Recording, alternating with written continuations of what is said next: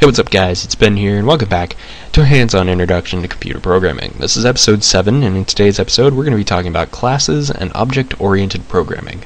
So up to this point, we've been working with basically what is known as procedural programming, where we don't really worry about objects at all, we just worry about functions and uh, variables, and we just get from point A to point B, and then we just call it good.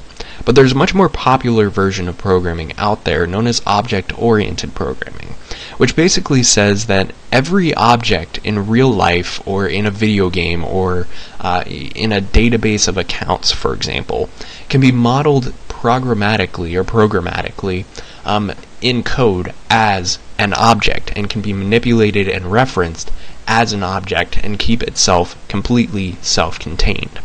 So basically, as you would expect, the idea of object-oriented programming is oriented around objects. But an object is just an instance of a template known as a class. Classes make up everything that is an object. Now, classes have what are known as attributes, which are basically just variables inside of an object, and they have what are known as methods, which is basically just a function inside of a class. So before I get too far, let's actually just make up a class right here. So outside of our uh, main function here, we're just going to type class. Now there are actually two keywords in C++ in order to, or that can be used rather, uh, to define a class. There's class and there is struct, which is for structure. Uh, and I'll talk about the difference here in just a second. But if we wanted to make a class in C++, we would type in class, and then we would type in the name of the class. So in this case, we're going to be working with cats. So I'm just going to type in cat. Now note that I capitalized the C. I didn't necessarily need to do that, but it's generally convention, uh, conventional rather, to capitalize the first letter of a class, or yeah, of class basically. So uh, I would open and close the curly brackets, and I actually have to put a semicolon at the end, unlike functions down here where I don't need to do that at all. But I do need to do that with classes, unfortunately. Or maybe fortunately. I don't know. It's just a design choice of the language. Now when I'm inside of the class here, I can just make little variables as much as I want to. So let's say I want to have the age of a cat, and I want to have uh, the name of a cat. Name, name, there we go. Now these variables right here, these are known as instance variables, and as they are right now in the class, they are by default private. Now there are private and there are public variables and methods. And basically that just says, can I access age from outside of the body of the class? So if I were to come down here into main and I were to make an object of type class, can I directly reference age and can I directly modify age? And in this case, because we declared it as a class as opposed to a structure, the answer is no, I cannot. It is a private variable. And likewise, if I were to make a method or a function, so let's say um, int, you know, cats, cats, there we go. If I were to make a method in here that, say, returned 3, I would also not be able to access this method at all. I wouldn't be able to call this function at all because it also is private. Now that's where the distinction between class and structure comes in because if in, instead I or if instead of class I use struct everything in here is automatically public now. So I can access all of this from outside of the body of our class here usually you're going to want to keep it to class and you can manually decide uh, what is public and what is private. Now you can do that with these little tags, just private and then a colon, and then you don't have to do this, but it helps readability. Um, it's recommended that you indent anything inside of private, and then if I were to come down here and I wanted this cats function, uh, or in this case cats method, to be public, I would just do public and then a semi or a normal colon. And then I would indent that as well. You don't have to do this, but it definitely helps readability. Now, inside of a class, there's one specific type of method that you probably should have. It's known as a constructor. And basically what that does is it, it's just a normal function or a method, but it takes in all of the parameters that you will need in order to operate the class, and then it assigns it to the variable. So in this case, the instance variables. Uh, so in this case, age and name are the two variables that I need to fill out. Now, of course, I can give these default uh, values, but I'd, I'd want to have them change every time I initialize a class. That's kind of the idea of having objects, is to have different uh, data types and different attributes inside of them. Not data types, but attributes inside of them. So the way that I would do this is I would just type in the name of the class. I don't need to put in any kind of data type or anything like that, just the name of the class. And then inside of the parentheses, I would put in any kind of parameters I would want. So let's do new age, and we'll do new name as well. And then this is basically just another uh, function. So age equals new age, and then name equals new name. Now we can reference age and name because we were we are inside of the class body here. So we can access any of the private variables inside of even public methods and in this case a constructor um, because we were we are inside of the class body. Now let's go ahead and use that constructor to actually create an object out of our uh, class right here, our class of cat. So down here in our main function, what we're going to do is we're just going to type in the name of the uh, template or the object, or the or, sorry, not the object, but the class. So in this case, cat as our data type, and then we're going to just type in the name of uh, whatever object we want to have. So uh, we'll just name it foo. And then inside of these parentheses, this is basically what's going to go into our constructor up here. So we're going to have our age be, let's say, 3, and we're going to have our name be, we're just going to name the cat Bark. Cat named Bark. Now we can compile and run this. And you can see that we have a little bit of an issue here. Oh, of course. One thing I forgot, because I'm stupid, is I forgot to put in data types for our uh, parameters up here. That was my bad. So make sure that you're putting those in, and then it compiles. Now, if I run this, you can see nothing happens because we're just making an object and then we're exiting out. Now, if we tried to reference, let's say, age, for example, if we tried to do foo dot, and that is how you access anything inside of a class, if we did foo.age, let's say we'll try to cout foo.age, oops, endl. If we try to compile that, you can see that we're going to get an error here saying int cat age is private, and then error within this context. So basically, we're getting errors because we cannot access these private variables from outside of the class itself. Now, if we were to try to access this public function right here and try to call it, so we would do foo.cats, and then of course that's a function call, so opening and closing parenthesis. If we compiled that, you can see we get no issues compiling it, and if we run it, then we get the value that we returned right here, which is 3. Now there are very common uh, sets of functions inside of objects that you generally are going to see called getters and setters. And basically that lets us manipulate and uh, access these private variables inside of a class without actually making them public.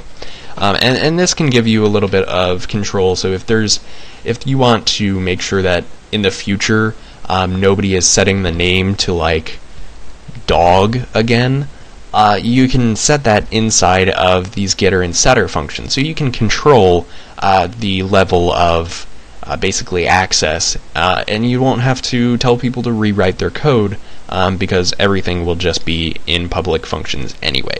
So the way that you would set up a, a getter, for example, we'll start with getters, is you would have the variable uh, data type of the variable that you're getting. So in this case, we're going to have a getter for age. And then you can really kind of name it whatever, but generally you're going to do get age, and that's generally the convention. And then you can open and close those curly brackets, and then you would just return, in this case, age. And if I wanted to do it for name, I would do string get name, and then I would just return name.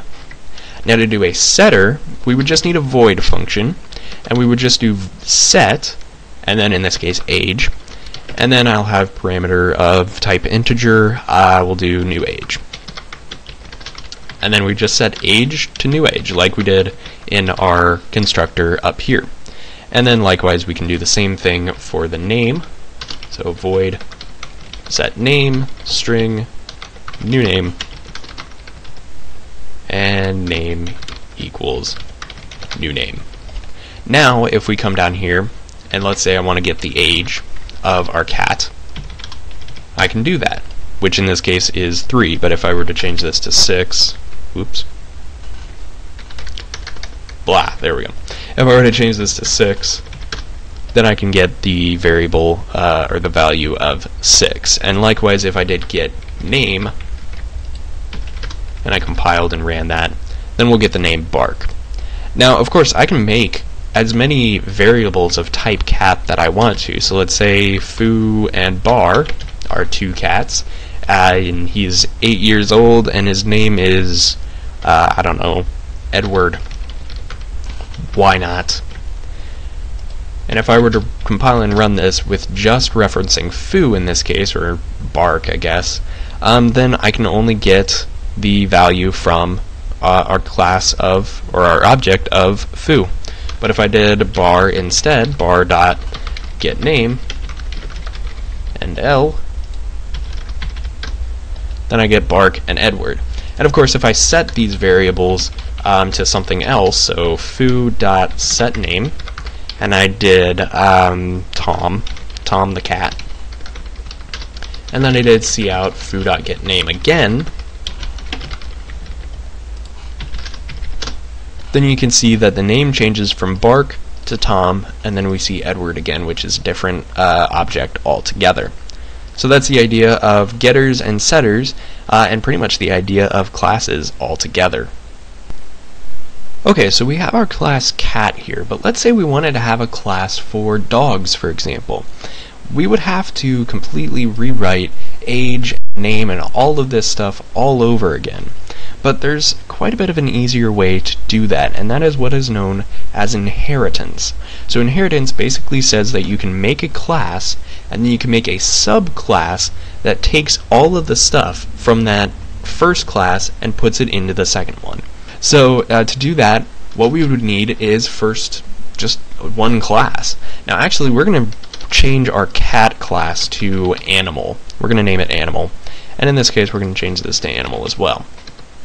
And uh, yeah, there's nothing in our main function this time around. So this is all of the generic attributes that we would need, generic attributes and methods that we would need in order to create a dog or a cat, for example.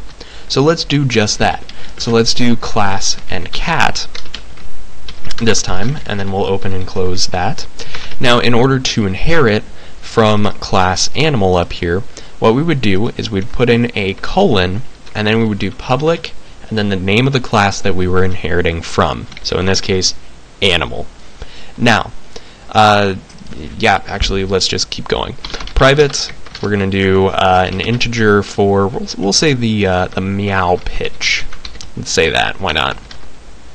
And then we'll have our public, and then down here, we're going to have our constructor. So we'll do cat int meow pitch, and then inside of this constructor, we're also going to pull in our age and our name, even though it's in this animal constructor here. Uh, we're going to pull them into our constructor list or our uh, uh, list down here of parameters uh, anyway. So we'll do you know new uh, age and then string new name. Now, if we want to put new age and new name, we want to put those into our constructor for animal up here. And so the way that we would do that is on the same line as our constructor here, we'll put a colon, and then we'll do the name of our uh, class before, so in this case animal, and then we'll just give it the names of new age and new name. Then we'll open this up, and all we have to do now is we actually need to rename this to new meow pitch, my bad is we'll just set meow pitch equals new meow meow pitch. There we go. And then if I wanted to, I could have uh, getters and setters in here as well. So get, uh, we'll just do get pitch in this case we'll return meow pitch, and then uh, void set pitch int new pitch and we'll do meow pitch equals new pitch there we go now inside of our main function we can declare a cat uh, as we would just before so we would do cat and in this case we're going to name it foo again and now we're going to have our meow pitch first so we're going to say you know 2500 uh, kilohertz, I don't know, uh, or hertz, I guess is what that would be. And then we'll have our age, and we'll have our name, so bark again. So 8 and bark are first going into the constructor for cat, because it's in the parameter list here, but then the constructor for cat is just going to feed that right into the constructor for animal up here, which sets all of the variables, uh, instance variables, for the animal class in here and just puts them all in there. And then we can access all of these public uh, methods, and if we had any uh, variables or attributes, we could access those too. But in this case, we just have methods. So if we wanted to, we could come down here and we could get Bark's age. So get age. And we'll actually have to do cout and L. And then if we compile that and run it, you can see that we get the age of Bark, and we can do get name as well. We get Bark, and then we can get pitch directly from cat. So get pitch, and there we go, 2500. Now if I wanted to make a dog, it would be very similar. I would just take all of this and just name it dog, and I guess dogs don't really meow, so we would just change meow pitch to let's say, bark loudness, basically. But that's pretty much it. That is the entirety of, uh, well, the basics at least, of classes. Uh, they're kind of not a terribly easy concept uh, in programming, but they are a very powerful uh, concept whenever you are able to harness them.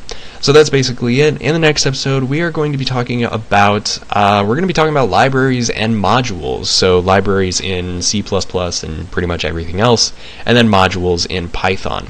So that's all I have for today. Thank you guys for watching, and I will see you in the next episode. Peace.